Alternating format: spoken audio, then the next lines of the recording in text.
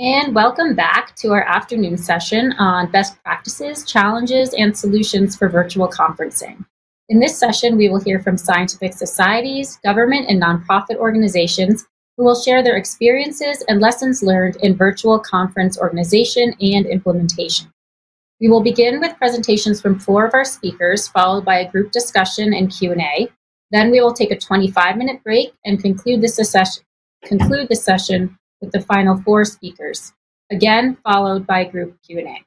You can submit your questions for our speakers at any time into the Q&A chat box and vote on questions that have been submitted.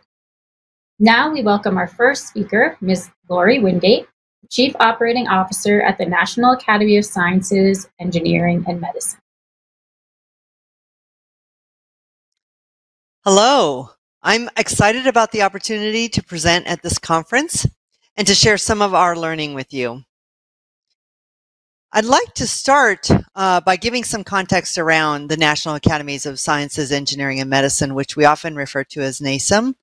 We are mission driven. We're a nonprofit organization that provides expert advice on some of the most important and exciting challenges facing the nation and our world all topics from agriculture to earth sciences, engineering, all the way to transportation and infrastructure. They're all uh, disciplines and divisions uh, that, that we support here at the academies.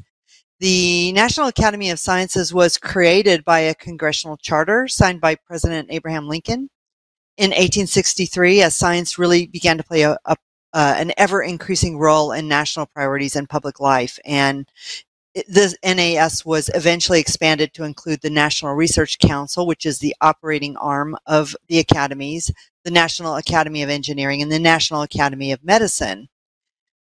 So the NAS, the NAE, and the NAM are honorary uh, member organizations, and these are members who are elected in recognition of their distinguished and continuing achievements in research and practice.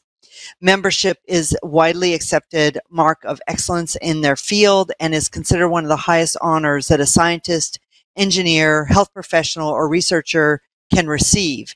And many of our members have been awarded Nobel Prizes or other prestigious prizes from their disciplines.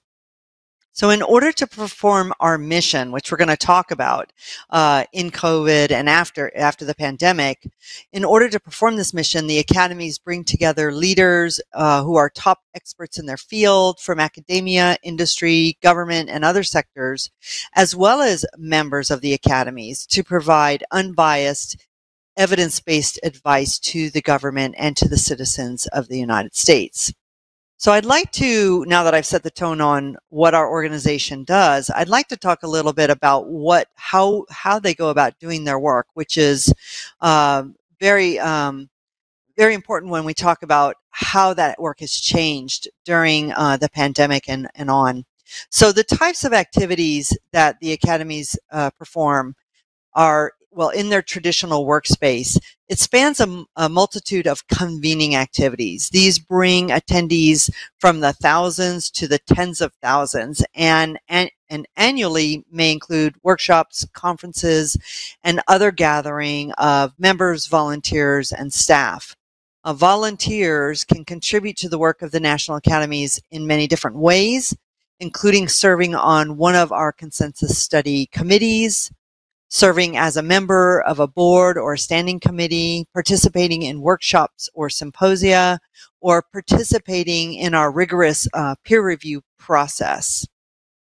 In addition to this, we also publish. So the National Academies publishes um, the National Academies Press, over 200 reports and proceedings each year on a wide range of topics. And the National Academies also publish the proceedings of the National Academy of Sciences, PNAS Nexus, and several other journals and periodicals. Now, I want to talk a little bit about how COVID changed our world. Now, up until March of 2020, all of the activities that I have described in the previous slides uh, were performed on site. In fact, it was our hallmark, uh, so to speak, and part of our success paradigm to hold in person, face to face convening and collaboration sessions. As with everyone else during COVID, um, all National Academy activities were moved to online venues, meetings, conferences, workshops, uh, as well as daily operations, finance, human resources, information technology, all of these moved online while the facility staff kept watch on the buildings and they watched them empty and then they sat that way for two and a half years. And so um, printing of materials stopped and travel stopped and the culture really pivoted and, and basically moved forward without hesitation.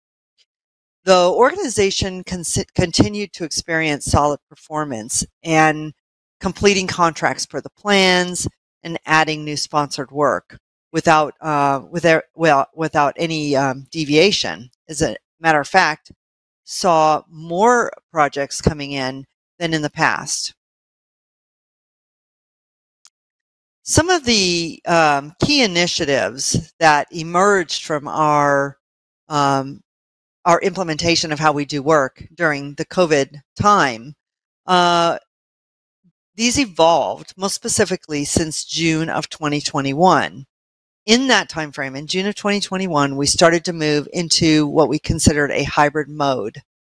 We invited staff back into the office at whatever pace they really deemed appropriate and incorporated a combination of technologies and methods for both internal and external participants throughout throughout our facilities and in particular throughout our conference rooms keeping safety at the forefront of our minds and of our actions, we implemented things like social distancing, masking when risks were high. We required vaccinations in order to come into the facilities. And um, we limited conference room occupancy to minimize the risk. We also developed a path forward to evolve our facility spaces based on an understanding that our staff really wanted to retain the flexibility of remote working at least some of the time and we also needed to address growth. So that path forward included a few things. We started with a move back to on site events and activities, but always providing a hybrid option. And in some cases, continuing to fully remote. We added functionality like videos, polls, voting, um, other types of collaborative, you know, um, collaborative activities like moving um, individuals from room to room virtually. And had a lot of lessons learned around that hybrid option which was very challenging uh, as far as making sure that all of the individuals whether they were in the room or offsite were able to participate and be heavily involved much of that we did um, by having everyone log in to the virtual event, even if they were sitting in the room. So, in addition to that, we also um, created some new physical collaboration spaces.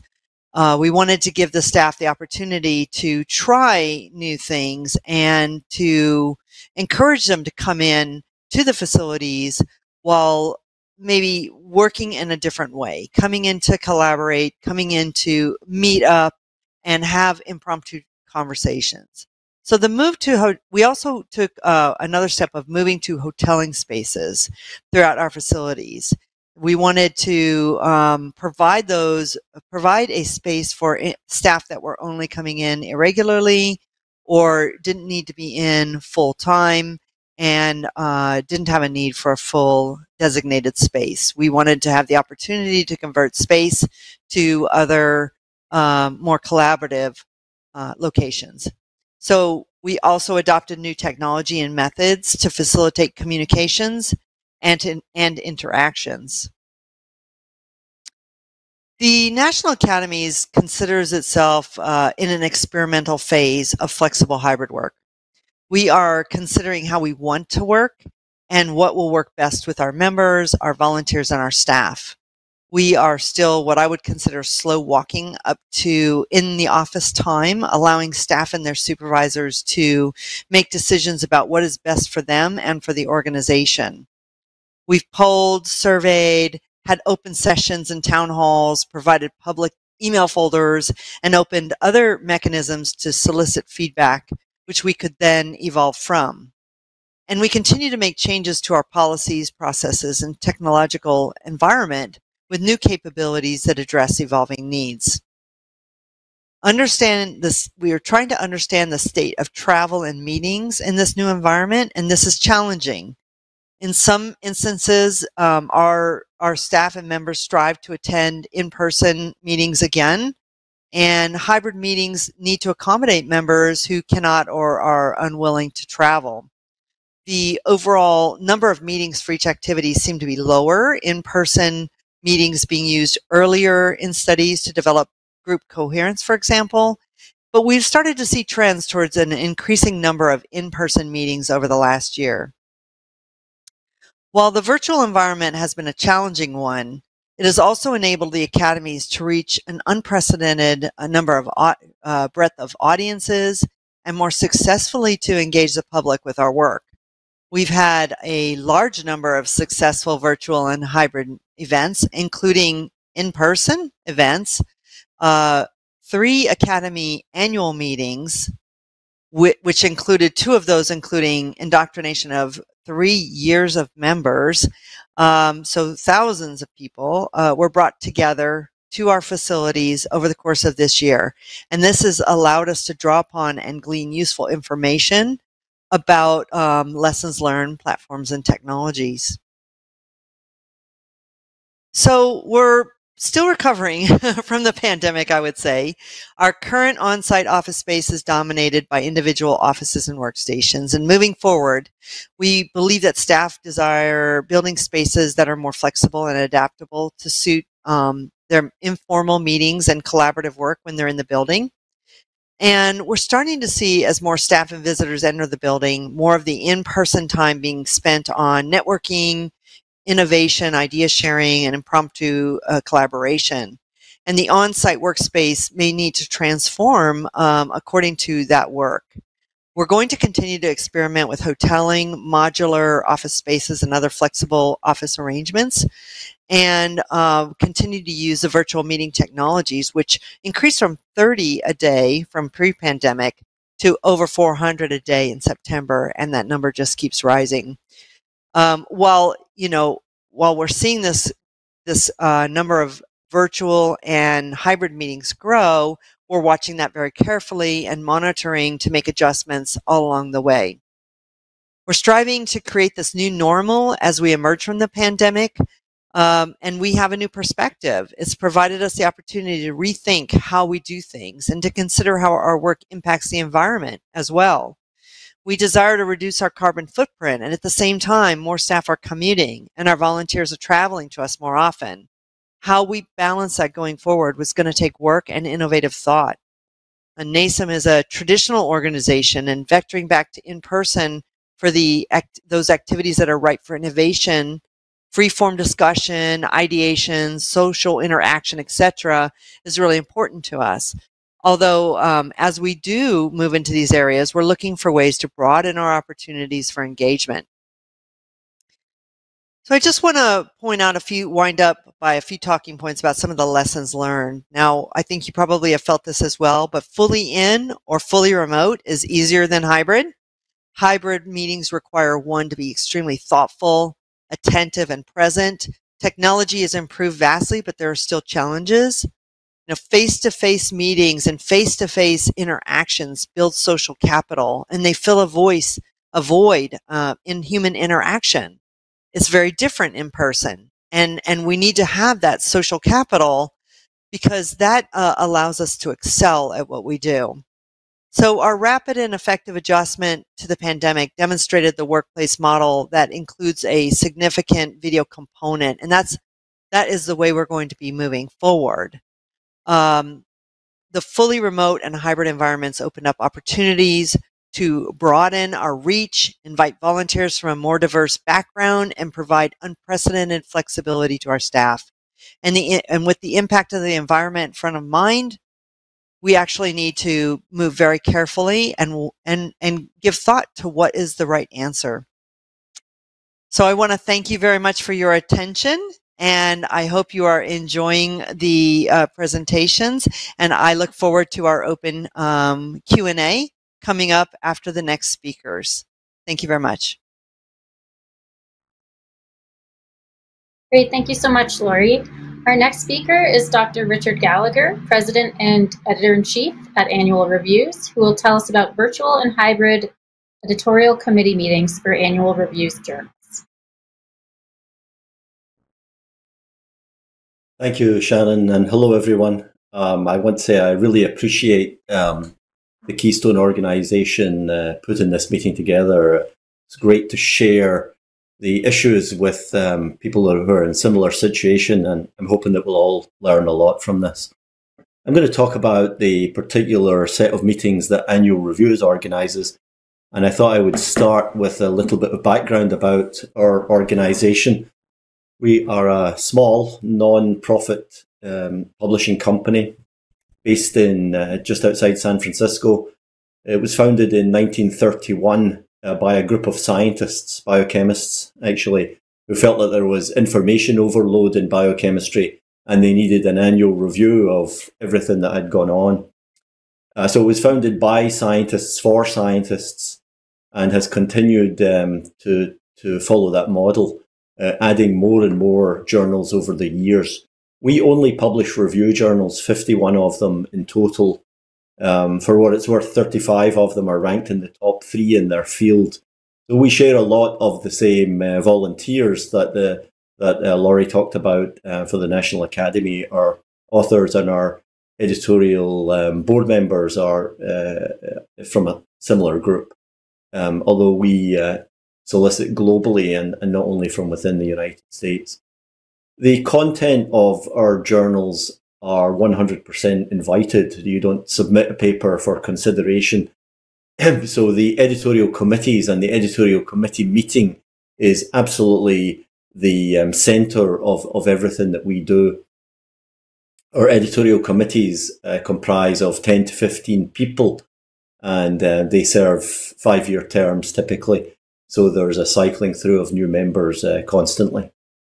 Annual Reviews is working on becoming an open access publisher in 2023. Uh, we've developed this new model called Subscribe to Open, and it looks like it's uh, going to implement OK, and, and all 51 of our titles, we hope, will be open access from uh, next year onwards. We also publish a general science magazine that I won't talk about uh, anymore today called Knowable. So I'll go through the pre-pandemic arrangement. So this covers the, I guess, the first 90 some years of annual reviews existence.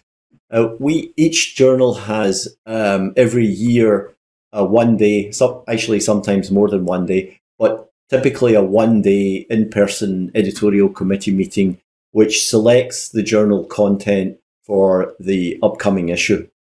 Historically, these meetings have been held in uh, the United States, uh, sometimes in other um, uh, places in, in North America, but mostly in the United States. But increasingly, as we've um, diversified the geography of the committee members, the meetings are held in other parts of the world. And that's typically in Europe, but sometimes also in Asia and um, sometimes in Latin America. In the pre pandemic era, we occasionally had um, remote participants. I guess it was somewhat frowned upon. It was audio only, and it was just in circumstances that people couldn't make it to the meeting, they, they, they would dial in, at least for a period of the meeting. Uh, uh our committee saw the in person meetings as essential to their task uh, for high quality interaction and, and uh, discussion about, about their subjects. Also, the meetings were considered to be a major perk, and still are considered to be a major perk of of being on the editorial committee. Uh, it's often described as um, you know the most useful meeting that they have in the whole year because they're sitting with only a dozen or so um, experts in their field and they're teasing out these uh, uh, very interesting uh, issues, um, discussing all these topics and, and who might cover them. Um, there are also, uh, as has been mentioned, important social events. People get to um, uh, gossip, catch up, and so forth. Um, I don't know that anyone's met a spouse at any of our meetings, but I guess that's a possibility as well. Uh, on the negative side, the costs of these meetings were continuing to rise in the pre-pandemic era. And of course, we were aware that this was the major source of greenhouse gas emissions for our organization. Um, we started to um, collect data on our carbon footprint in um, 2019 and and uh, buy uh, carbon offsets to, um, to, to cover that. But nonetheless, uh, this is a, a, major source and a problem for for the organisation. We did a few problems with meeting timing because everybody went to the same location, and other than those who had a bit of jet lag, um, it, it all worked perfectly. Uh, during the pandemic, of course, all of the staff were remote. All of the editorial committee meetings suddenly had to be completely virtual.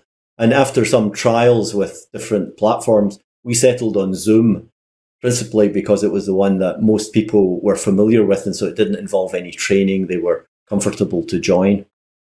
Initially, we uh, really replicated the in person format, which was quite unsatisfactory. You know, to sit, as, as we've already heard, to sit for a whole day uh, on a Zoom meeting, uh, only speaking rather occasionally um, was was not really good. It was far too long. People were really insufficiently engaged. Um, also, as, as we have committee members around the world and the meetings were organised usually around times that were most convenient for East Coast US, which is where most of the committee members still tend to be based, it made it very difficult um, for, especially for Asian and Australasian participants who were sometimes joining the meeting at 2 or 3 a.m., sometimes working through the night. And despite that fact, we've increased geographic um, participation through the pandemic period, in part because it didn't cost us any money to have guests from different parts of the world. So long as they were prepared to dial in at awkward times, we were delighted to have them. Uh, moving to a remote um, format did put new committee members at a disadvantage. They didn't, they weren't able to see how things worked. They, it wasn't obvious to them how how to uh, interject and so on. But we've gradually adapted to the medium. The meetings have become shorter. Uh, we've introduced um, uh, changes to how the meetings are run to make them more equitable so that everybody gets a chance to speak um, regularly during the course of the meetings and so forth. And these uh, virtual meetings, I would say, have been effective. We haven't had to delay publication of any journals. But I think there's been less enjoyment, less sparkle uh, to the events uh, as, as they've been virtual. It's um, saved us money for sure, and there have been environmental benefits of not flying people around the world. The current arrangements, I'm not trying to suggest that we're not still in the pandemic, but I want to um, look at this current era of uh, where we've moved to more hybrid, a hybrid kind of approach. At the moment, most of our meetings are hybrid, and there's a minority that are still fully remote. That depends on the editor's preferences. Um, now we have rules that in person, even for hybrid meetings, uh, we have new committee members joining that will only participate um, virtually fr- fr- from now on. And uh, the committees have, of course, been happy to accept that. But most of our committee members prefer in person meetings. And I think it, it affirms the importance of the fuller engagement that you get when you when you spend the day and in, the, the evening uh, with with the people on the committee. Uh, some of those uh, new committee members, especially, have uh, committed to remote um, participation, whether it's for family reasons, uh, for um, uh, reasons to do with climate change, for um, impositions from their from their institutions. We're, we're happy to have them join remotely. And we've introduced, and I want to give a call out to my colleague Jen Jongsma, who's also on this meeting, who has done a lot of the innovation here. We've in, introduced uh, strategies to make sure that all participants, whether they're in person on remote or remote, are on an equal footing. And I can talk a little bit more about that perhaps during the discussion. We do tend to have uh, frequent late withdrawals from in person participation, uh, whether someone's just had a positive COVID test or for various other reasons. Um, there's a lot more churn in the arrangements than there, there were before. And uh, these timing issues um, are definitely exacerbated by participation across time zones, um, even in Europe, but especially participation from people in Asia and, and Australia.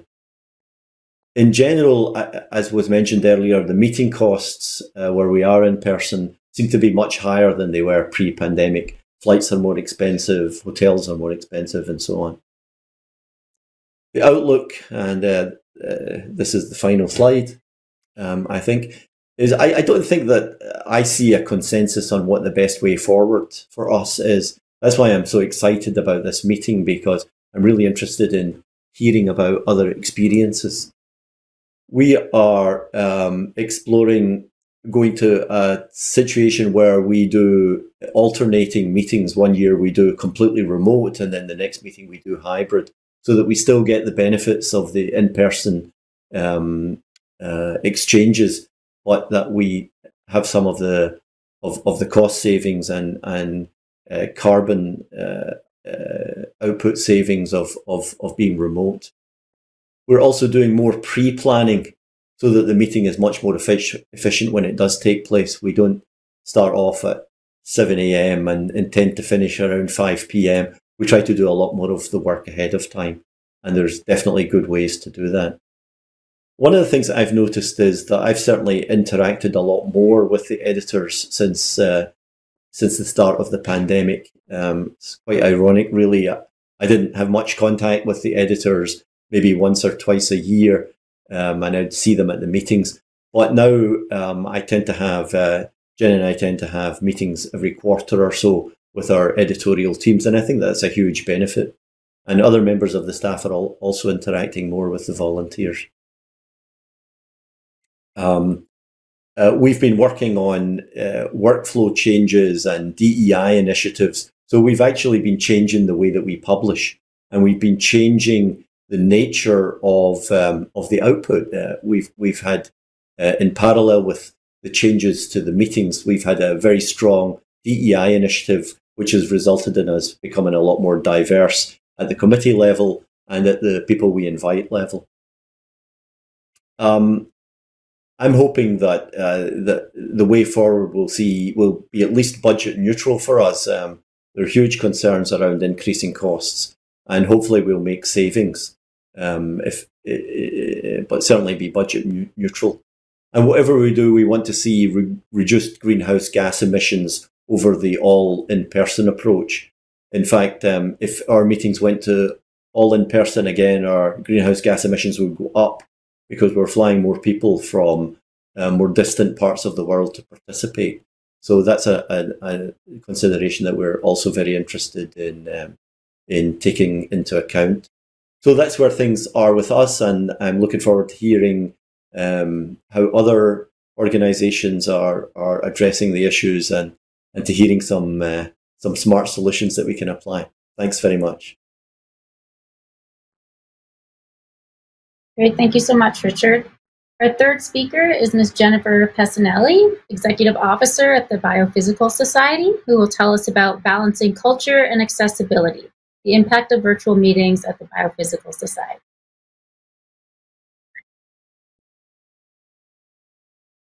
Uh, thank you very much, Shannon. I'm happy to be here today to share with you what the Biophysical Society has been doing, um, but also, as Richard said, to learn from you all um, and to have some great discussions. So, I want to share a little bit about uh, what the Biophysical Society is and what we've been doing with respect to meetings, um, and cannot help but to give a shout out to my director of meetings, uh, Dorothy Chaconas, because she and her team have been leading our charges on this. So, the Biophysical Society is uh, an organization, an individual member society that operates at the interface of biological uh, life sciences and physical sciences. We just underwent a strategic planning process this year to update our strategic plan, and I'm sharing with you our goals here because our goals um, from this strategic plan as well as our prior plan really drive what we do and how we operate. Um, so, fostering a diverse and inclusive global community is our number one priority, um, as is investing in the future of biophysics, sharing knowledge about biophysics, and advocating for biophysics. So how we meet, where we meet, um, and what we do is is very important in, in terms of uh, achieving all of these goals and making sure that everything that we do is accessible to our members um, as best as possible. But there's a lot of complications with a meeting like ours. A little bit more about the society. We have about 7,500 members, primarily in academia, some in industry, but others uh, in government agencies. A third of our members are outside of the United States, so this is very important in considering uh, how we meet and when we meet. Uh, 35% of our governing body, our council, is also are also international members, which is great because it's it makes it easier for them to be very mindful of our members um, and how we present ourselves and, and what we do. We have a large annual meeting, which I will talk about in more detail. We also have uh, several small meetings throughout the year. We also have a large journal program, uh, large meaning important to our organization. We publish three journals. We have an ebooks program. We have 18 subgroups, uh, which are a key part of our meeting. Our subgroups are like special interest groups for some other organizations. We have 47 student chapters. Uh, we do a lot in terms of education and career resources and have a fairly decent advocacy program for biophysicists as well. Uh, we have 17 staff. Uh, we're small, um, and very busy. Uh, in terms of our meetings, um, so I'm going to focus mostly on our annual meeting today, but also did want to mention our thematic meetings and BPS conferences in a little bit more detail because they are part of how we serve our international community. Um, also, we had a few virtual symposia and networking events, which is not the best name for them, but I'll explain a little bit more about them and how they have really helped us uh, reach out to our membership. But concentrating on the annual meeting, so this is the profile of our meeting pre-pandemic. Um, it's a five-day meeting. We have governance meetings on either end of it. Uh, we have um, uh, workshops. We have also um, uh, other events leading up to the meeting. So it ends up being more than five days for most of us um, but it rotates uh, West Coast and East Coast. We have a lot of members in Asia, so our West Coast meetings are very have been historically very accessible to them um, and very popular, which is why we've been doing a rotation with two on the West Coast and one on the East Coast. We've averaged uh, about 3,500 attendees over the years. With uh, I'm sorry, 5,300 attendees with 3,500 abstracts um, over the years. Uh, we have 112 average invited speakers to our symposia, plus 100 subgroup speakers. Um, we kick off our annual meeting with a subgroup Saturday, we call it, where all 18 of our subgroup uh, each host a four hour symposia. So we have half of those in the morning and half of those in the afternoon, and those are very a big draw for our annual meeting because that's where all of our members get to really dive into their specific areas of uh, research and content. Um, we have 24 symposia and 64 platforms usually, and we're running nine concurrent sessions. We have over 50 uh, organized sessions from committees, meetings, or other events that occur during our annual meeting, um, and we've been averaging 130 exhibiting companies. So it's a very large meeting, and we were fortunate enough to meet in um, San Diego in February 2020, just prior to the world shutting down. So, unlike some other organizations, we were really lucky that year that we were able to meet in person. Um, and these are photos from that year. We have a very connected community. There's a lot of collaboration, there's a lot of networking. I'm sure with uh, those of you who have similar types conferences, you know that very well. There's great conversations going on throughout the meeting in the hallways, uh, in the exhibit halls, in the rooms, in before meetings, after meetings, etc. So being together and being in person has always been a big part of our meeting culture. Um, in 2020, as I mentioned, we were lucky enough to meet in person. It was February, and our keynote speaker was actually from China. He was the winner of our BPS Annual Lecture Award, which is our largest society award. He was not able to travel as uh, shutdowns for, tra- travel from China had already begun occurring.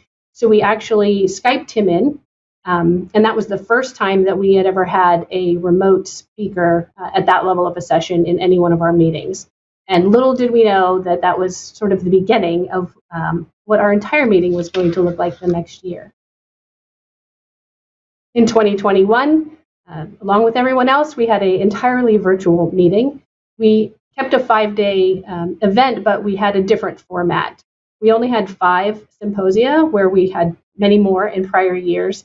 Um, we did focus on our subgroup symposia and sorry, we had four live symposia, which were sort of main event, main speaker sessions. Uh, we did keep all of our subgroup symposia on the first day and our platform sessions. And part of that was to prioritize the individual topic areas as well as our younger members who tend to speak more often in the platform sessions.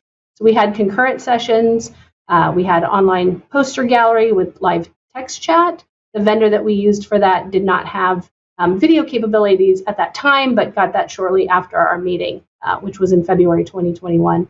And we did leave the content available for eight weeks following the meeting. We had fewer attendees, unlike some other organizations who saw a big spike in their attendance when they were virtual. Um, we had a drop in attendance um, and far fewer abstracts and exhibiting companies as well. I was asked to share vendors that we worked with, so this is just a quick snapshot of who we worked with for that meeting. Um, Cadmium CD was our main meeting platform, and they did our e-poster gallery and our virtual exhibit hall. Um, they were modifying their platforms and technology along with a lot of other vendors before, during, and after our meeting. So I think we had a lot of good features, and and more came after we we met with them. We did use Remo uh, as we are using for this particular conference to do some of our networking events. We we went ahead and had our um, poster competitions for our students and our undergraduates. We also had several general networking sessions um, and meet the editor sessions, and Remo worked very well for us. So short of being able to meet in person and do those things like we usually did, it was it was a good solution, and I think our attendees engaged quite well in that. And we relied heavily on our uh, audiovisual vendor, who was uh, formerly named BAV, but is now part of Inspire. And they did pre-recording of our um, uh, anchor and platform speakers and our subgroup speakers. We did have live Q&A, um, but all those talks were recorded. They produced our live sessions, and then they streamed and recorded our um, live Q&A sessions as well. So in terms of feedback for our virtual meeting, of course, there was a mix, but these were a couple of the themes that rose to the top is, is people did like the ability to attend the meeting while working from home. Uh, there was a flip side to that, that people said they were distracted, not as uh, able to concentrate as fully on the meeting as when they're there in person. But they did like to be able to switch easily between sessions um, some people preferred to ask questions via chat rather than in person, so so that was nice for them as well. Um, but we did get a lot of feedback that people really missed the in-person interaction engagement that they usually have at our meeting. Um, and I think you know we all we all felt that, but we're we're pretty pleased with the way that the meeting went overall. In 2022, though, we were able to meet again in person, and we met in San Francisco this past February. But we did not want to move entirely to in person um, because we still had members that were unable to travel either due to the pandemic, travel restrictions, inability to get visa, or just the expensive things. So we did have an on demand option as well where we recorded um, certain sessions and we had our poster gallery online again as well. Uh, our attendee our attendance numbers and our abstract numbers were not as strong as they were in 2020, but they were better than uh, they were for the virtual meetings. We did have a number of COVID protocols in place, of course, like vaccination verification. San Francisco was requiring the booster leading up to our meeting, and that was really a barrier for a number of our attendees, um, especially international attendees, to get the booster. So that had a big impact on some people's ability to attend. Um, we did cancel a major social event to help keep it safe. And while people missed that, I think they were uh, they understood that for sure. So we were back in person, but with a little bit of a mix in terms of having an on-demand element as well. Registration, however, for that on-demand event was not very strong, um, and the components that people could use prior and during the meeting, such as the online poster gallery, um, were used a lot then, but not used as much after the fact.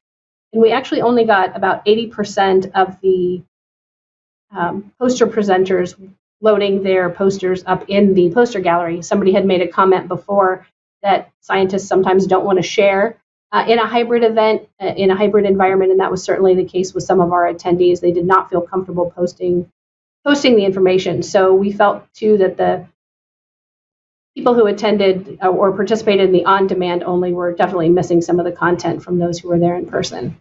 Um, but in terms of financial impacts, prior to the pandemic, the annual meeting was a very nice revenue generator for our organization, and, and we depended on it quite a bit. Um, we lost money in 2021 with the virtual only. Again, attendance was down, exhibits were a fraction of what we had before, and, and costs were different, right? We didn't have all the expense of the in person meeting and the travel, um, but we were still paying for new platforms and technology. Then with 2022, moving back to that in person, but having on demand, um, between on demand and um, COVID precautions, we had quite a few more expenses that we normally do. Uh, so again, we had a net loss this year with our annual meeting. And for 2023, we are doing in person only. We are not repeating on demand for this meeting. We do not feel that it was successful enough um, to warrant the costs. Um, and we're budgeting to break even. We are concerned about some accessibility issues because there are still those who are concerned about travel for a, a number of reasons. Um, visas also remain a challenge for some of our members, and we know that will impact them as well.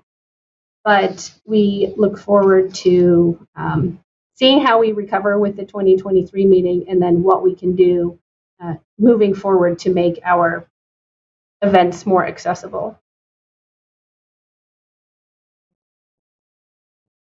The, as I mentioned, we met in 2020 in San Diego, and then when we met again in 2022, a lot of our members said that our meeting was the last thing they attended before the pandemic and the first thing they attended after the pandemic, which was which was kind of nice um, to be back together. But you know, to follow on to uh, some of the comments that Richard made, you know, even though our annual meeting itself has moved back to primarily in person, we have moved a number of our governance events to uh, to virtual, including one of our annual council meetings, a number of our committee meetings, an advisory board meeting. So we never had any of those things virtually prior to the pandemic, but we did learn that those types of meetings we could be very successful and effective. Um, so that gave us an opportunity to save money um, as well as do the business that we needed to do. We have also um, continued to do our small meetings in person. We rescheduled all the 2020 and 2021 events because of the pandemic. There's always been discussions about should these small conferences be um, hybrid, should they be virtual, but the intent of the thematic meetings and the BPS conferences was to help serve uh, international members or members in locations who weren't necessarily accessible to our annual meeting. Uh, so they're small meetings, they're member organized, and they have typically about 100 to 120 people attend each of them. And there's been just an overwhelming sense from organizers, attendees, and even our leadership that these need to remain in person. That said, we have had some virtual symposia. Our first one was addressing COVID 19 challenges, another was to celebrate the Protein Data Bank anniversary um, we also have what we call networking events, and again, probably need to be rebranded because prior to the pandemic, these were member organized um, sessions, symposia, half day workshops, etc., in Africa, South America, Europe, just all over. And we do about 12 of those a year, and we give the organizers the chance, the opportunity now to decide whether they want to do it in person or virtually. Um, and those are very popular and very well attended and make our content accessible to members in, in remote places throughout the world. So I'm wrapping up here, but uh, look forward to the discussion with the panel and look forward to hearing any questions that you all might have. Thank you. Wonderful. Thank you, Jennifer. And our final speaker in this group is Mr. Dereck Orr of the National Institute of Standards and Technology. He is Division Chief of Public Safety Communications at the Communications Technology Laboratory. Today, he will tell us about the integration of virtual content in the Public Safety Communications Research Annual Stakeholder Meeting. Great. Thank you so much, Shannon. I appreciate it. Uh, it is great to be here. Um, it's very eye-opening going last, recognizing uh, that we really aren't that different than anybody else that has uh, talked before. Uh, we didn't know that uh, as a program. We felt like everything that was happening to us was unique and our challenges were unique, but ends up that we sound very similar to everybody else. So uh, just a little bit of background. Uh, my name is Dereck Orr. I'm the Division Chief of the Public Safety Communications Research Division at NIST, the National Institute of Standard Technology. Uh, we are under the Department of Commerce in the U.S. government and serve as the United States um, measurement uh, laboratory. So keeps the nation's time, keeps weights and measures. And my division specifically is focused on supporting uh, the United States public safety community, fire, police, and EMS, uh, and helping them improve their communications capabilities, uh, especially uh, after 9-11 when there was a significant uh, recognition of the shortfalls of our public safety's ability to communicate in disaster. Uh, our organization really took off at that point and uh, became a focal point for research and development to help public safety take full advantage of communications capabilities in order to be able to respond more effectively and more safely uh, to both day-to-day events and uh, large-scale events. So what I'm going to do today is I'm going to talk about, and it's going to sound very similar, so I, will I'll be careful and not wade too deeply into things that have already been talked about. But um, I'll talk about what our, our past has been uh, very very quickly. We we typically gather our stakeholder community, which is made up of public safety. Uh, so uh, as I said, fire, police, EMS uh, around the United States and around the world for that matter. Uh, we also bring in industry, academia, and other government uh, federal organizations to come together and to discuss everybody's contributions and and capabilities in addressing public safety's needs for advanced communications. We've done uh, a in-person annual meeting for 12 years now, and it has been a cornerstone of our year. We've really used it to hold ourselves accountable to our stakeholders. We've used it to, to, to read out on all of our projects and programs, uh, to provide hands-on demonstrations of the technology that's being developed in-house or through our grantees or prize, prize uh, challenge participants. Um, so it has been an important element of our program to really show the community uh, what we're working on and bring them together so that they can uh, find better ways to collaborate and make new connections. So, as we've heard on in, in every talk today, um, uh, we were used to this in-person event. We typically drew around 500 people a year uh, and, and had uh, a very hands-on experience, especially around technology demonstrations, sometimes as many as 70 technology demonstrations. And then these, this is not a, um, this is, uh, this is not a vendor um, uh, exhibition. These were more like uh, science projects um, uh, being displayed by researchers, many of them 10 to 15 years out and, and becoming commercialized. So, um, so as you can see in the top right corner of this slide, uh, many of them are on tables. It looks more like a science fair than it does a more typical, uh, I would say, um, uh, CES type of event or something with booths uh, that, that didn't exist in, in these uh, areas. So COVID hit, obviously, like everybody else talked about. We were only, we typically hold our meeting in June of, uh, of the summer. And so COVID, uh, COVID shut us down in March. So by then we were already prepared to hold our June event. We had a location, we had an agenda, we had our speakers lined up. Uh, we did not typically do any online uh, content. So we were three months out from a, a date for a uh, stakeholder meeting and had to pivot quickly uh, to create a virtual event so we could maintain um, our effort of reading out and bringing our stakeholders together and ensuring that they're uh, participating and bought into the work that we're doing in our program.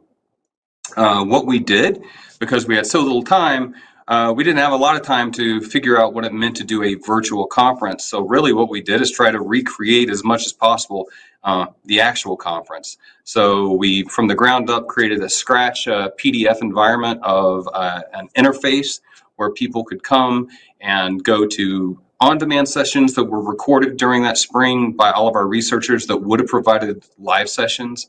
Uh, we did hold a few live session panels. Uh, we also created mechanisms to do technology demos, whether they were pre-recorded or in a virtual environment, and that was all experimental on our part. Uh, we created a networking lounge to try to to try to still foster the ability of people to get together and and uh, and communicate and meet. Uh, and then we had a section uh, focused on our Open Innovation Prize Challenge uh, programs. Uh, so that was our initial effort uh, at creating, or at least maintaining, our annual meeting during COVID. so we did create a, a, a, a significant amount of digital content in a short period of time, both in the online sessions and in the demonstrations, and had to create a whole mechanism to help people uh, with help desks and tutorials and be able to, to navigate uh, during the time. Um, so the the biggest change for us is because we're the U.S. government, uh, we have to be cost neutral in running our conferences, or else we have to pay out of pocket out of our program costs. And so we try to uh, we try to raise enough fees through our conferences to cover the cost of the conference. Um, so traditionally, our conference had cost. It's still a very inexpensive conference compared to many, but typically our conference fees were somewhere in the uh, 350 to 450 range uh, for a two to three day conference. Um, so going fully digital in this experience changed one thing significantly, which was we were able to provide all of this for free. So our conference in uh, in 2020 was totally free to participants, and that made a significant difference for us. We saw a, more than doubling of our attendees from the typical 500 to over a thousand, um, which was was was fascinating. We saw that most of that uptick was in the private sector, uh, who uh, joined and may not have typically come to our conference. Um, so that was a significant change for us to see that type of a jump in our in our attendance from going from a, a fairly inexpensive paid in person, although there is the expense of traveling and hotel costs. I understand that, but um, uh, but w- once we went free, um, we significantly increased the participation rate um, from from people coming. So, getting the feedback from people after the conference, uh, we found that um, one, I think the fact that COVID had hit and uh, people were recognizing that we would be home potentially for a long period of time, uh, and a lot of events were being canceled. They were in a, I would say, a um, a willing they were in a willing state of mind to play in this space and just happy that something was still going to happen instead of everything being canceled so i feel like we got a pass in the first year in that people were just happy there was a meeting so um, uh, our overall ratings were high. Uh, people appreciated the ability to get access to the on, on-demand content, to see some of the demos. Um, but certainly, like others have already talked about today, uh, we just could not recreate not just the um, not just the networking capability. We couldn't recreate the energy around Q and A's in, in, individual sessions, uh, whether they were live or on demand. Uh, and so that was something that we were surprised about, especially the Q and A piece, because we did create mechanisms to do that. Uh, it just was very difficult to get that interaction. Um, so in preparation tw- uh, for 2021, when it became obvious that we were going to be uh, virtual again, we actually began uh, working with a more traditional virtual uh, uh, web interface, developing the entire program with the idea that it was going to be virtual, and we had a year to do so. So we did spend a lot of time on the interface and the content. Um, we did see a decrease in it was still free in 2021 we saw a decrease in attendees and really that's i think that's about that because it was free a lot of people who otherwise would never come came and found out that's not the place they expected to be and they didn't really have a purpose for being there and so they didn't come the next year. Uh, but we still saw a typical increase over our in-person meetings. Um, and we did see again, uh, people were happy with the event, but still, even after trying to re-engineer how we did Q and A's and um, tech demos and uh, and networking, it still fell short of what everybody was hoping for, and that was feedback we continued to get. So, uh, moving into 2022, we were one of the first NIST programs that was actually able to go live again. So, we did plan for a live meeting in San Diego, uh, and we held that in June of this year. Uh, and we tried to bring together the best of both worlds of everything we had learned from our event, uh, our, our events prior to COVID and our virtual events during COVID. And what that meant for us is that um, we did continue to create on-demand sessions uh, that um, people could get access to if they weren't able to make it in person. Uh, but we also created a very, um, I would say, hybrid approach to in-person meetings. Now, this wasn't a hybrid meeting. You could not watch the meeting live virtually. You could uh, you could access the on-demand content, but you could not participate virtually. You either were there or you could access the uh, the, the digital content. Um, so uh, we created a mechanism, uh, mechanisms to enhance the ability for people to interact uh, while on site. So we created, we went away from the more traditional push of information to attendees and traditional PowerPoint settings, and instead created things like campfire sessions where people sat around and it was a collaborative, uh, facilitated session, getting feedback and uh, and ideas from our attendees that help drive our program in the future. Um, we, we had 331 attendees, which is down from our normal number, but we were happy with that given the fact it was most people's first time out from uh, post-COVID. Uh, and we are planning for our June event this year, and we expect to probably be back to normal, if not above. Um, so uh, what we really focused around this meeting was creating a more uh, hospitable environment in the COVID world. So those campfire sessions, we we uh, had the ability to hold a number of our sessions outdoors. So we did that, and that made people feel much more comfortable. Uh, San Diego allows for that oftentimes. Uh, so again, we did see a decrease in attendance, but that was really one of the first outings after COVID. Um, so we weren't surprised. We did see people uh, much more excited. The energy was back from those uh, two years of um, of uh, virtual sessions, and they truly appreciated having a, a less push uh, um, traditional push inform- uh, of information to attendees and, and, uh, and instead being able to fully participate in the discussion in, in live, um, uh, live facilitated uh, uh, sessions. So that's something we definitely want to continue leveraging. And we went back to hands-on technology technology demonstrations which made all the difference in the world obviously it means something to actually be able to put a headset on see a heads-up display uh, hear audio of, of communications and understand the impact on the first responder versus seeing it virtually uh, or pictures of what we're working on. And you can see the results from feedback we got from our surveys, our post uh, surveys from the conferences. Uh, in the two on the left are our virtual ones and people were talking about that it was good information, a good way of uh, uh, you know creating um, the ability to digest information through on-demand sessions. But then you go over to our 2022 meeting, and everybody was talking about networking, collaboration, innovation. Um, so you, we really saw the importance of that element to our attendees. Um, uh, we also created a virtual lab tour um, so that people could visit our site here in Boulder, uh, given the fact that COVID really shut down that capability. And so now people can walk through our 360 degrees degree space and come visit us anytime they want. And that's kind of this this need to um, to to give access to people uh, in a virtual environment. Um, so looking forward, we are going to be focusing on networking, tech demos, Q and A's, uh, interactions, and uh, we probably won't do as many on-demand sessions, uh, but we will definitely be focusing on our live event experiences.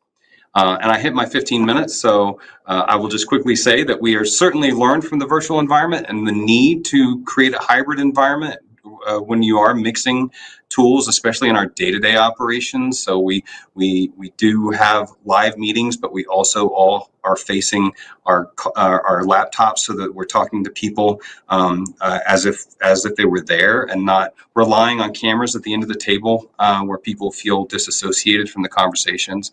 So it definitely changed our perspective but we also understood and found that the the, the power of a live meeting um, couldn't be replicated. At least we weren't able to replicate it um, in a in a virtual environment. So um, I appreciate the time. I look forward to the Q and A, and uh, I, I appreciate the perspectives of all the other panelists. So thank you. Okay, great. Well, thank you all for those really interesting perspectives about how you all adapted to the changing environments during the pandemic and now as we attempt to do hybrids and things like that. Um, as a reminder to our audience, you can click on the Q&A tab and vote on other people's questions if you'd like to hear them answered, as well as that's where you can submit your questions for our panelists. Um, I'll start our discussion today by asking each of you overall, how do the benefits and challenges of putting on virtual and hybrid meetings pencil out for your organization? And we've already heard from some of you if you plan to continue in the future, but how do those considerations go into your plan for the future when it comes to this coming year and more long term?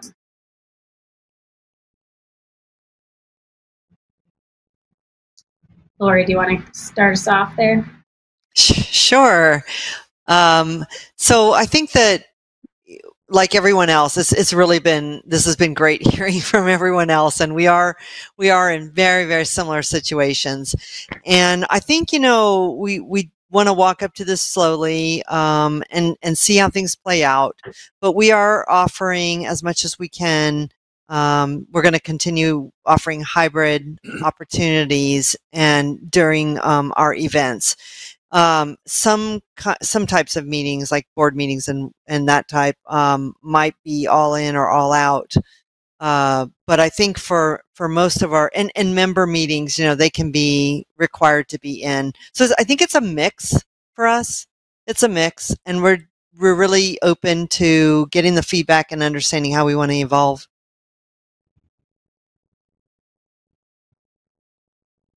Richard, any thoughts from you?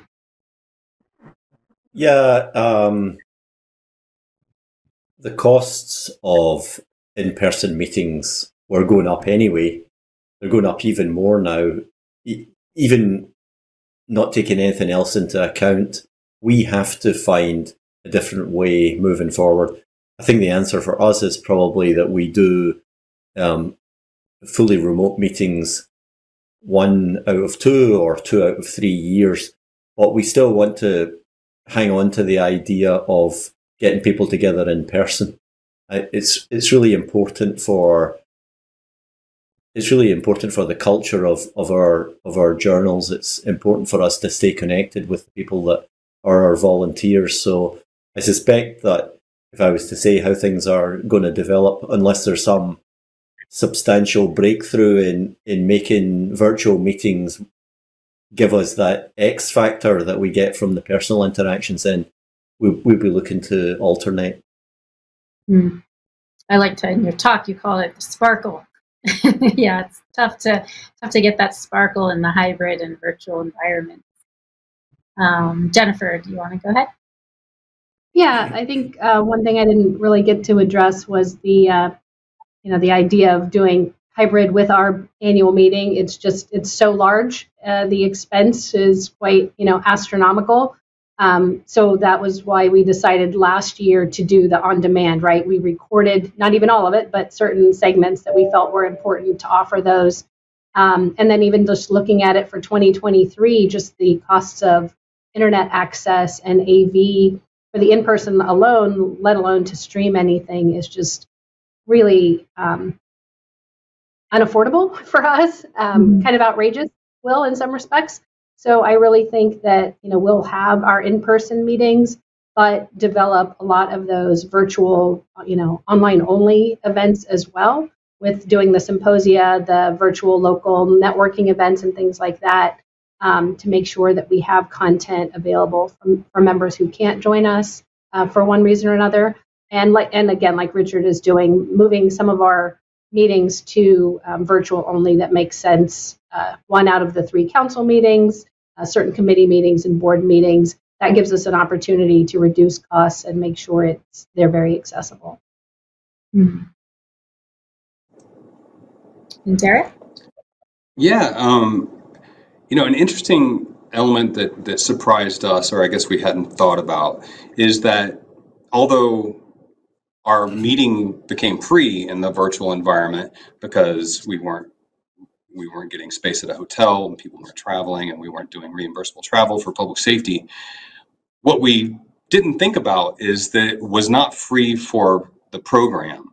Um, so I'm a division chief of a division of scientists and engineers, and the amount of time it required us to plan and then have all the scientists and engineers record and prep and then and then um, publish all that material that's time they're not actually doing the research and the science. And we found that um, one their stress levels increased significantly. They felt um, even though we thought it'd be easier for them to pre-record and, and present and so they weren't we wouldn't have the pressure of presenting live the, the, there was a lot of pressure they, they felt in the recording sessions and getting it right because they could and they, they had the time. Um, so uh, we have found and are working towards an environment where we're going to try to reduce as much as possible the the stress and load on the scientists, keep them in the lab as much as possible, and that's probably going to be focusing more on that um, that engagement style of those fireside chats and other uh, other types of engagements where they're not having to do a lot of preparation ahead of time but they're there to talk to the to our stakeholders and, and share information live. Um, but that was that was an element we were pretty surprised about. Yeah it, um, i think we found that here too at keystone symposia. It seems simple to put together a platform if you've never done it before because it just as an audience member it's all just appears there but um, there's a lot that goes on in the back end when it comes to setup and troubleshooting yep. and coordinating and um, and it's a learning process as well so it's not going to go that smoothly the first time around or maybe even the second time around but then as you kind of do it repeatedly it can become easier and less stressful but those first adaptations are a little challenging for the organization um, Jennifer, you made an interesting point about the cost for your very large meeting was exorbitant and just unattainable versus some of the smaller meetings. Can you talk a little bit more and maybe all the others can also contribute to comparison of costs when it comes to virtual or hybrid and how that relates to the size of the meeting and the format of the meeting? Right. Well, you know, certainly we found with our meeting, we are in convention centers, right? We're too large to be just in a hotel space. So we're paying for internet, AV, techs, uh, local labor, um, things like that. And those costs have, they've always been high, but they've gone up a lot um, since the pandemic. And so to be able to set up a room to do streaming or something like that at our annual meeting is just something we just simply can't afford. I mean, even select, we'll record our annual lecture this year, but we won't stream it, um, for example, because we go from you know a few thousand dollars to tens of thousands of dollars for one session. Um, whereas our smaller meetings, like our governance or our committee meetings, if we can have those at BPS headquarters or say our president's home institution, um, if we can do them at university facilities or offices, typically the costs are a lot lower and a lot more manageable. So that's that's easier easier for us to do. Interesting. Yeah. So the facility charges is the issue there, not necessarily the platform itself cost. Right. Right. Got it. Does anyone else have any insights about different sizes of meetings you've held or tried to hold? I would say you know, there's always a cost, right? The cost is either in the facilities, getting the facilities set up, or getting IT set up, or both if you're in a hybrid. And if you're in a hybrid, you have almost the worst of all worlds. You have to pay for the IT and you have to pay for the facility. So, um, trying to figure out what the right model is. where you want to put your money, where you're going to get the most return for your volunteers or for the participants. Where's that return going to come from? And I think many um, of our uh, of our speakers here spoke of what worked and what didn't work. And so figuring out where you want to put your money on those to get the most bang for that buck is is going to be a really important exercise. And we will do the same thing. Some of uh, of our larger meetings, which do cost a lot, um, they're you can't do those any other way because they're they're you know to recognize or award or and that just doesn't come across the same over a Zoom call or something like that. It's hard to recognize and and and make that a very special event. So I think it's just going to take some um, trial and error to see what works for each of our organizations in each different scenario. Mm-hmm.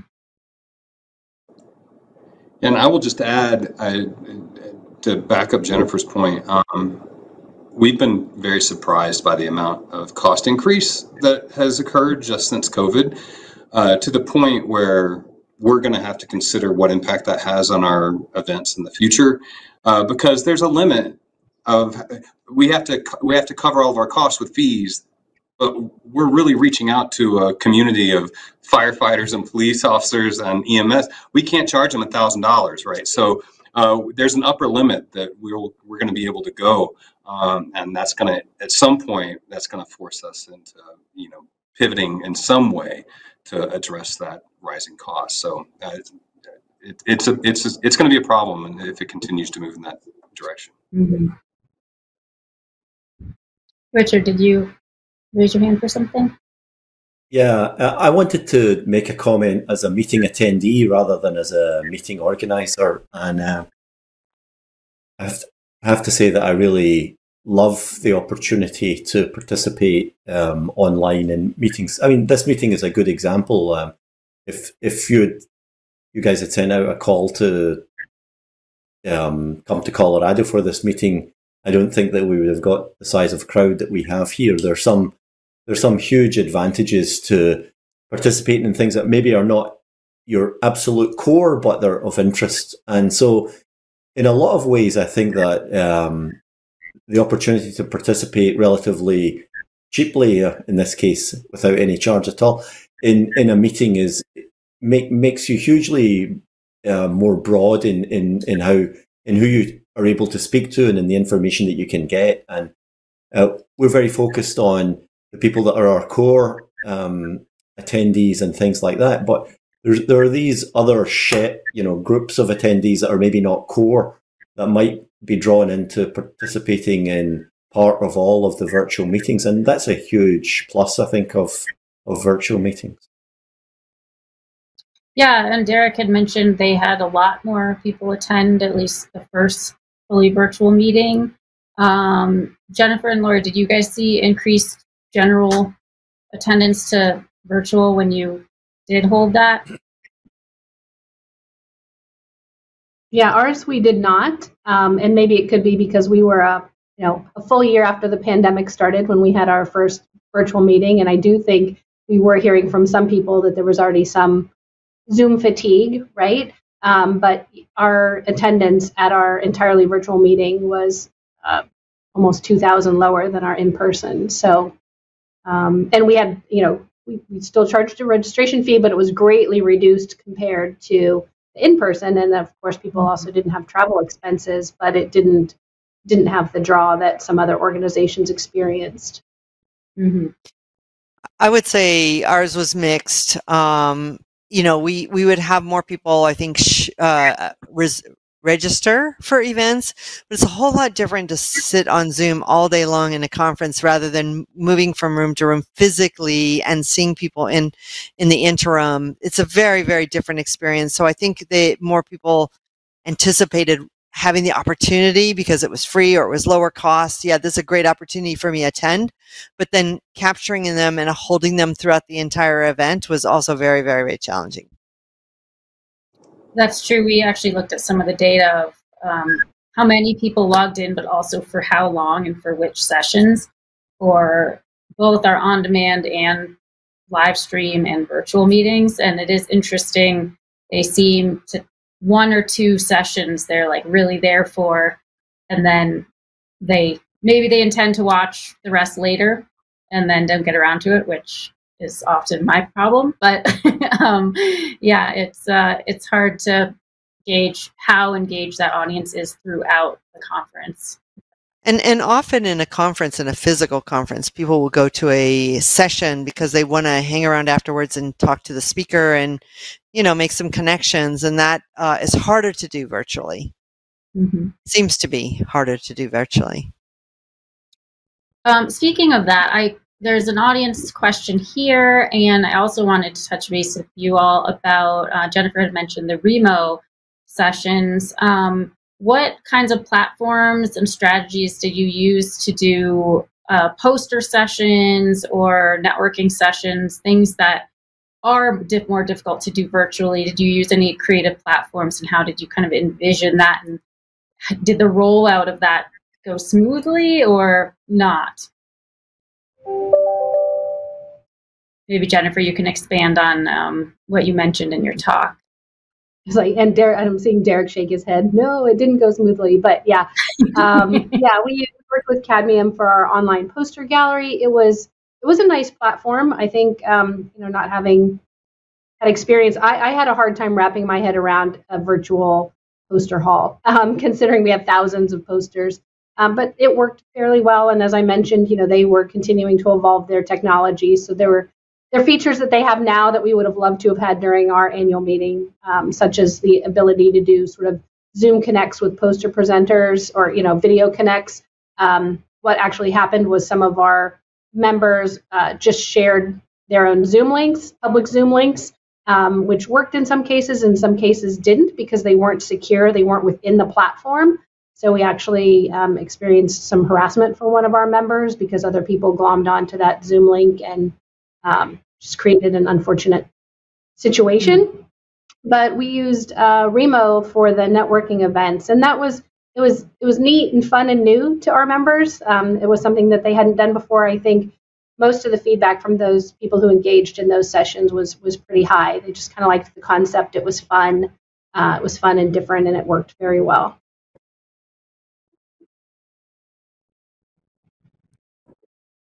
Yeah, Dereck, go ahead. Yeah, I'll, I'll, so you know we are a R&D shop. We do look 10 years in the future. One of our areas is virtual reality and um, augmented reality. So we like to try to leverage that kind of capability. So we did build in some uh, aspects of virtual reality and uh, and augmented reality uh, into our demonstrations in that first year to try to give people almost like second life kind of um, uh, uh, interface in which you would be in a room with other people and you had an avatar. You go see their demo. You could talk to them live. Um, yeah people did not do that. So it was us standing around in our virtual uh, rooms uh, for you know for hours uh, floating in space. But uh, so it, it was really hard. And otherwise the only other way to do it was just doing a de- you know a video of a demo which loses a lot of that um, uh, engagement that occurs during demonstrations. Uh, so you know we tried but it, it was really hard to get people out of their comfort zone uh, and and try something different and new. Um, so yeah that was that was a lessons learned for us that did not reoccur in 2021 so. Mm-hmm. Lory, did you have anything to add? No, I just I thought that was really uh, interesting because you know it is it is uh, challenging to get people to try new things, and uh, just something like that. I had thought about that myself. Of you know, what if we did it this fun way? But clearly, uh, you have a mindset around what you're willing to do in a work environment or and and that doesn't uh, often bleed over into sort of the gaming kind of mentality where you're doing more fun things. It's it's hard to make that transition. We had uh, you know we, we kept our big our big meetings and conferences in in person and there were very specific things like we didn't do the you know poster sessions in the way that everyone's talking about. We just had you know certain certain pre-recorded or or recorded uh, sessions that people could call into. And I just don't think, as as mentioned here, that they're very popular. Uh, some people will do them, but often they like the idea of it, but the execution is um, lacking. So I, I, did I did appreciate that Dereck get that visual. Uh, I won't I won't bother to try that one. yeah, I think we saw an interesting adoption as well with the our we did Remo poster sessions as well and networking events. And it also depended on the group. Like we host different topics of meetings and it seemed like some communities were like super into it, really wanted to give it a try, and others were like crickets and just like not not wanting to give it a go. It also took some adaptation on our part about not just getting the platform set up in the best way and most user friendly way, but how to communicate to them how to use it and where the kind of gaps were in our communication to them um, as to yeah how to eliminate some of those hurdles and things like that. Um, we have another question about uh, vendors. I know a lot of organizations use vendors as a way to finance meetings in person. How does that work virtually and in hybrid formats jennifer i see you nodding down there well, I was, yeah, I was just thinking as we were talking more about the technology, you know, that we did a virtual exhibit hall and uh, it was half the size of our in-person, and that did not work very well. I mean, it the the platform was really cool and really neat, but our members attendees just did not go visit exhibitors. So the exhibitor experience was very disappointing. I mean, they had they got to do all kinds of neat things to set up their virtual exhibits, but it didn't draw and it didn't hold. Um, so that was really disappointing. And the exhibit hall for us is a, a huge source of um, income for our annual meeting. So, you know, we, we again, they paid a fraction of what they would pay for the in-person experience, and even that was disappointing to them. Um, so that certainly hurt. And then, you know, w- with the return to in-person in 2022, we had some good return on exhibitors coming back in person. Still some challenged with pandemic travel restrictions and things like that, but um, but yeah, I think it's the feedback from our from our community anyway is in person is is definitely valued in that in that area. Yeah, we had a very similar experience with uh, vendors, although we do a lot fewer than most um, when it comes to our meetings. Laura, did you no. guys do vendors? Our big, our biggest, uh, one of our biggest meetings is the uh, Transportation Research Board. Their meeting, and we did a very big. Uh, we did the the first one was virtual, right, during COVID, and then they did a in person, and it was um, we did have a lot of vendors that come in for that, and it seemed like there were fewer than you know much fewer, and they it takes a lot of effort to set that up. And I think the challenge is you're usually getting the vendors who are going to present at, and be there at the next one, so you need to have them there to make sure that you have fully populated vendor spa- spaces in the next one. And I think that we're going to see sort of a residual effect over time of um, trying to catch up on these because we'll do that annual meeting every year. And, you know, we're every year we're trying to get them to commit and sign up to the next, you know, what spot do they want? And if uh, they're not seeing that result, it, it was really kind of disheartening to see how there were people there from all around the world, but it was still disheartening to see so much space between you know people weren't weren't at the vendor spot so i think we're going to see some residual lag in that and uh, that's going to be challenging mm-hmm. richard anything from your point of view with um, no we have no experience with vendors i wanted to say something about posters though um, mm-hmm. posters mm-hmm. were always um, a kind of very different way of conveying information at meetings even before um, the pandemic. I think there might be an opportunity there. What I never really liked poster sessions either to present them or to go through the hall because you felt this kind of pressure to say something smart to anyone that walked past. Uh, uh, and similarly, you felt the obligation to uh, engage with someone whose work you might just not have a clue about. Uh, virtually, you can be much more selective about who you go to.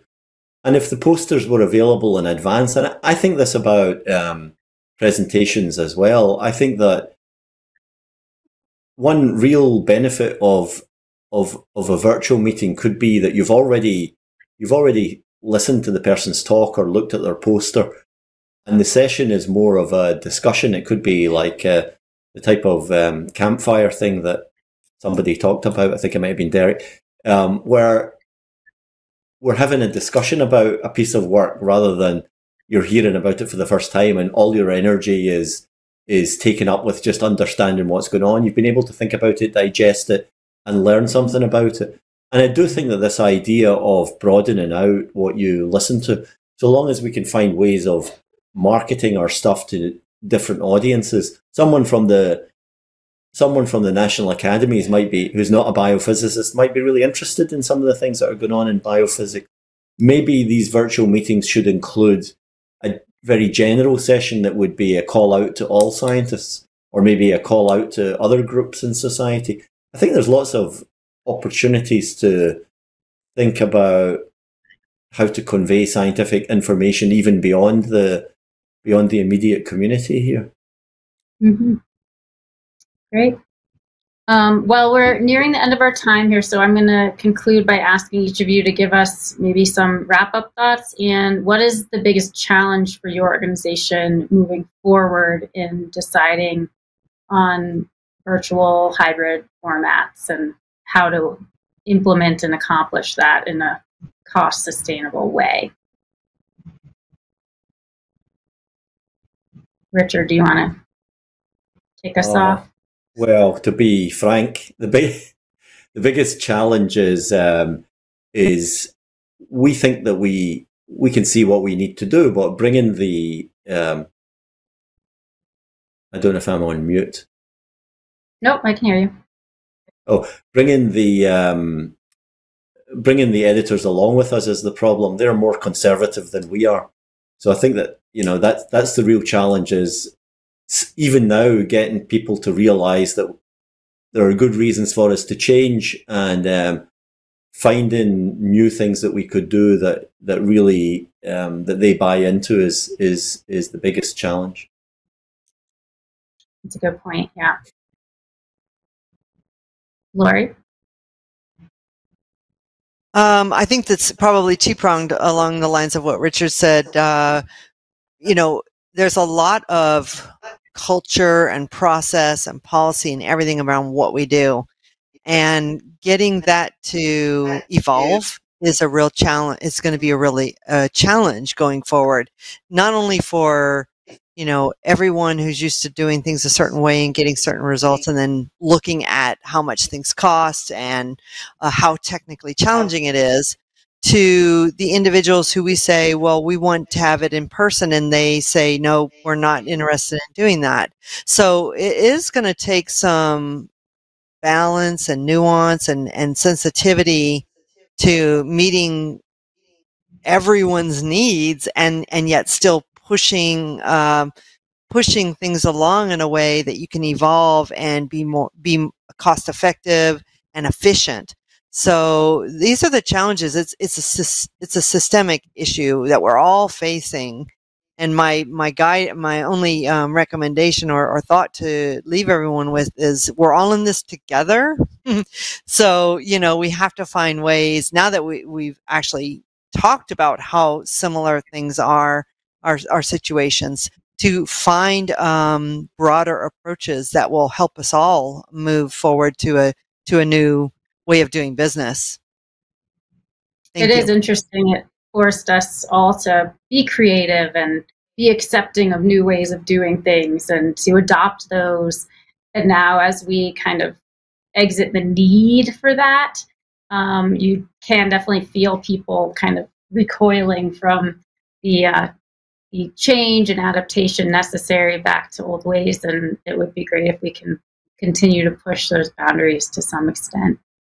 Um, Jennifer, did you have some wrap up thoughts? Yeah, I think yeah, we just have we we have communities that need uh, accessible options, um, but for us, I think cost is the biggest challenge, just given the size of our event currently, which is you know why the littler events are easier to focus for those, but it's it's not equitable, right? So we need to try and figure out how to resolve that. Yeah. And Derek.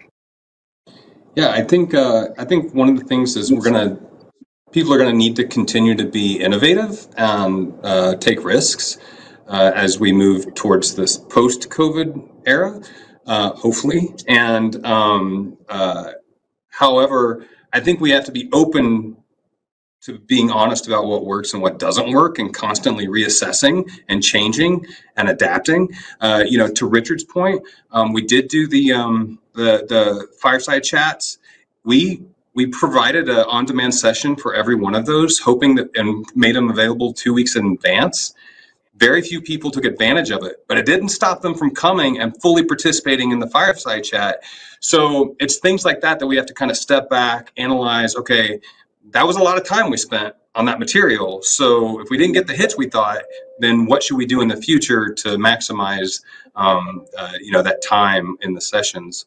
So I think it's just going to be. I think in the past we all operated off of things we've been doing for decades, and now we're learning year after year, and uh, it's a good thing. But it's something we're going to have to be open to. That's true. It leads to a lot more benefits, as we've seen with kind of diverse audiences and reach, um, but it makes for a little bit more work on our end. Great. Um, well, we now have a 25 minute break. Um, first, I'm going to go through some of the poll results that we uh, took during this session. So, Mitch, if you could put up poll number one. So we see that um, for those organizing scientific conferences, in person attendance this past year compared to pre pandemic levels um, kind of distributed evenly, whether they saw reduced, greater, or equivalent attendance. And our next question. In the past year, what percentage of conferences did you attend in person versus virtually? We see a lot more um, in person. 25% attended in person and um, some only virtual. So uh, thank you all for participating in the polls. We'll have a few more for you at the second half of the session. And thank you to all of our panelists. This has been a great uh, start to considering the challenges and benefits and um, how to kind of figure out what the next steps forward in the post-pandemic era are. So we'll see everyone back here in 25 minutes.